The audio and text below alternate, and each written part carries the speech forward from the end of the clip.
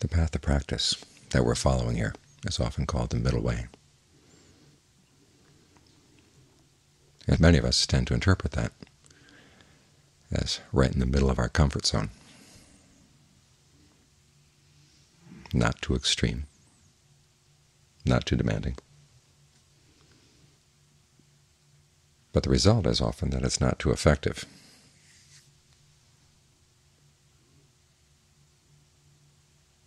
Buddha says there are two ways of gauging what kind of effort is just right.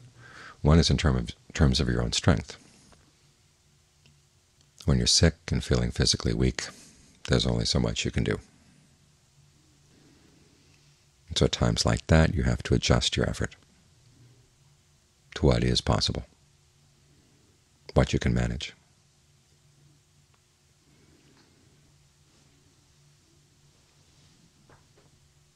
But when you're feeling stronger, you want to take into consideration what's really called for at any one particular time in your practice. The Buddha says when you live at your ease and you find that the defilements are falling away, then fine, live at your ease. There's no need to go out and prove something by forcing yourself. But if you find that by living at your ease the defilements are just piling on, you've got to go out and practice, he said, with pain. Force yourself more than you want to, however much is needed for that particular defilement, that particular situation, that particular state of mind. And it's not the case that you always have to push yourself to the limit.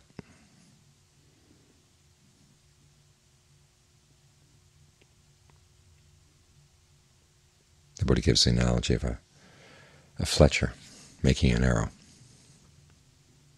Is to put the arrow over the fire, to bend it one way, to bend it another way. The heat will cause the wood to expand. So you get the arrow perfectly straight. But once it's straight, then you don't have to put it over the fire anymore.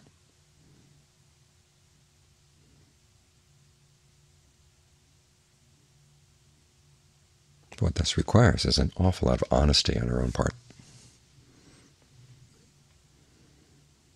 Because the mind does tend to side with itself, say, well, not too much. Ajaan Maha has a great line. He says that when we're practicing, everything is just moderation, moderation, moderation, but when our defilements come in and we're following them, the word moderation or the word the middle way just disappears.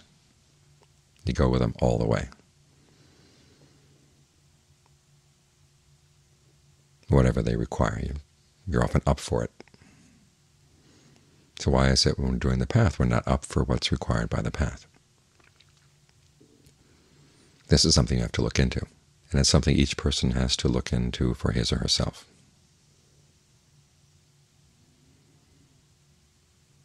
And this is where you have to develop a lot of honesty. Are you getting results? What does it mean to get results? What happens when you push yourself harder? How long can you push yourself harder? What kind of stamina do you have? I've told you that story about the time when Ajaan Fuang, out of nowhere, after a very hard working day, said, well, tonight we're going to sit up and meditate all night long.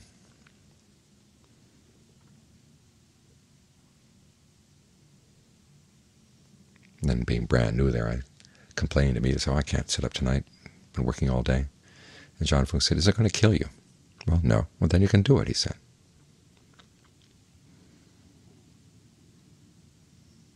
So you want to take that as your as your guide.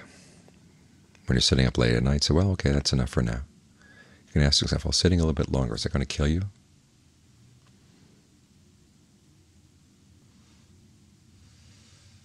And if you find that you're really falling asleep and there's no way you're going to wake up, you might as well go to sleep. But if you find that you can give yourself some more time, give yourself some more time. You don't have to worry about tomorrow. If there's energy, if you're up for it, stick with it. See how far you can go and see what results you get. If you don't experiment like this, you now have no standards with which to compare things. Because it's only after you push yourself too hard that you know what too hard is. And it's not going to kill you. If you find that you've gone too far, well, you can back up a little bit. But all too often we're not willing to make that extra push. And the mind has lots and lots of excuses, starting with the term middle way. Don't want to push yourself too hard. After all, that turns into self-torment, and that's the wrong way. Well, how far is self-torment? Look at what the Buddha called self-torment, starving himself, forcing himself not to breathe, getting so thin that so malnourished that just the act of defecating or urinating would cause him to pass out. Now, have you gotten that far in your practice yet? No. We're not advocating that you go anywhere near there, but still, it is important that you push yourself more so you can learn what the range is. It's like getting a new stereo. You turn up all the dials to see what, what it's capable of before you decide what's right.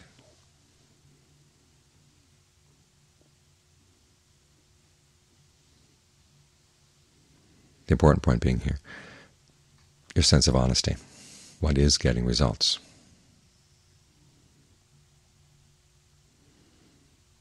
Defilement comes up in the mind, greed comes up in the mind, lust comes up in the mind, aversion comes up in the mind, and you can look at it and it just drops away. Okay, you know you're making progress. But you find that it comes up and it just latches on. You have trouble shaking it. Okay, there's more work to be done. And this requires strategy, knowing how much you're capable of, and realizing we are in this for the long term.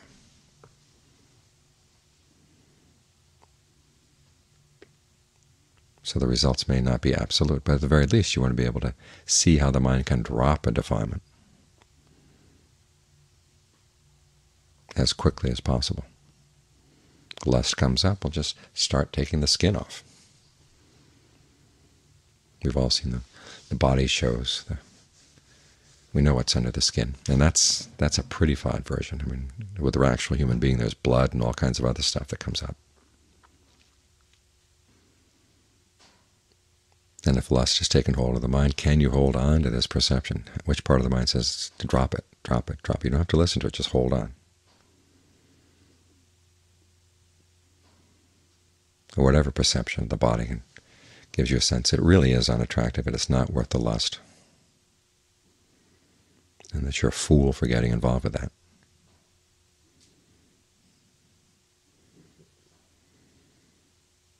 Because the problem with lust is not that just that it has the imperfect objects that it focuses on, but all the things that we do under the power of lust. Remind yourself of those too, all the stupid things you've done in the past because of lust. Bring those to mind.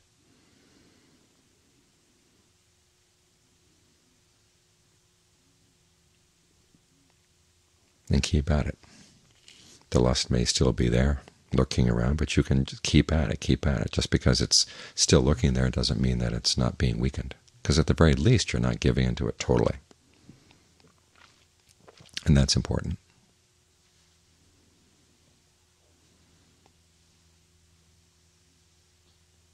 Same goes with anger. The people you're angry at. How much longer do you want to hold on to that anger? What sense of self-righteousness is the, the meager and pretty sad food that you get from that anger? Can you hold on to the perception of that person being a suffering person?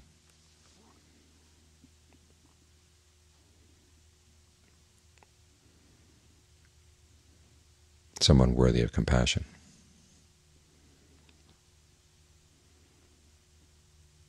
Again, the, the root causes of anger may not go away, but it doesn't hurt to cut the grass off at ground level. And when you see it sprout up a little bit, cut it off again.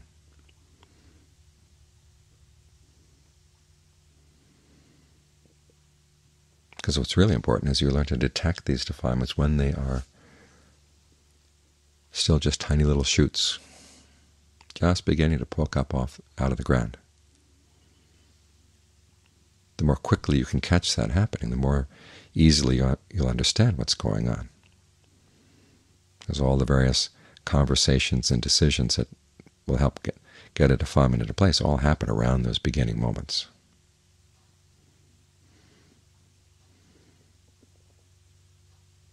This is one of the reasons why we we have the rules here at the monastery, the Vinaya for the monks. And it's not just for the monks, as Ajaan Suwat once pointed out. Having lay people live around monks who are observing a Vinaya, they get more sensitive too. But the whole purpose of the rules is to detect where there's some slight greed, where there's some, some slight anger, where there's some slight lust.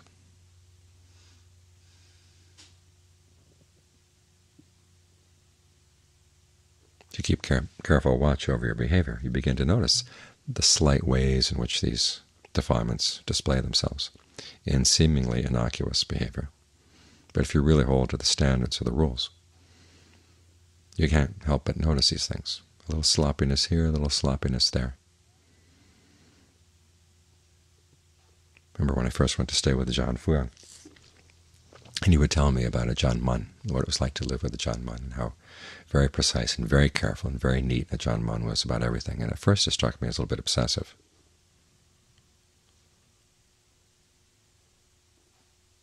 But then again, to realize that as you're looking after your mind, that's the little details, the slight movements of the mind. Those are the ones you want to watch out for. And you see them very clearly when you've got the rules as your measuring stick.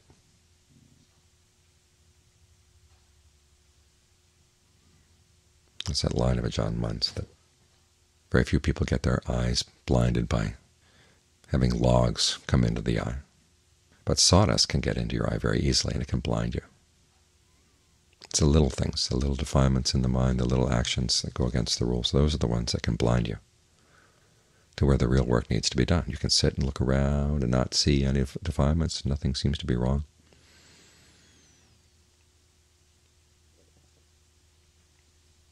But that's because your vision hasn't, hasn't been sharpened. Your powers of observation aren't clear enough yet. So the practice is in the details.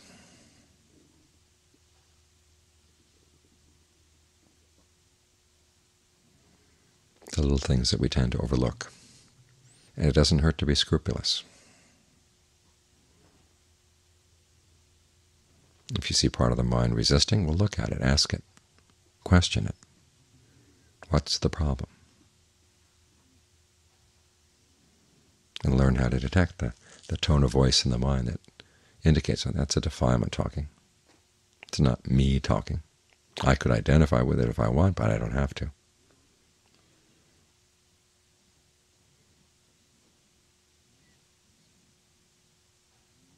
So learn how to test yourself. This is an important part of the practice. I've been looking at the different ways that the Buddha teaches questioning. Because he does encourage questioning as part of the path.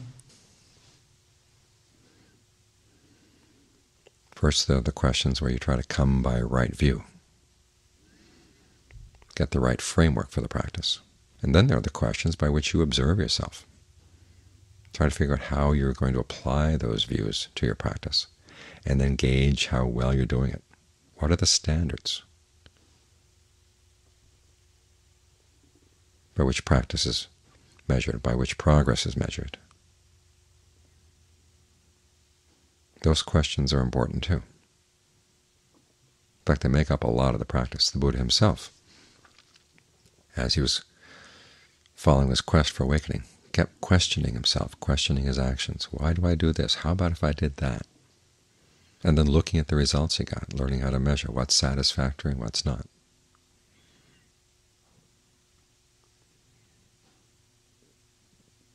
These are some of the ways in which we question ourselves. Are we putting enough effort in? Is the effort effective? How do you measure effective? What qualifies as satisfactory progress? When can you really be sure about yourself in the practice?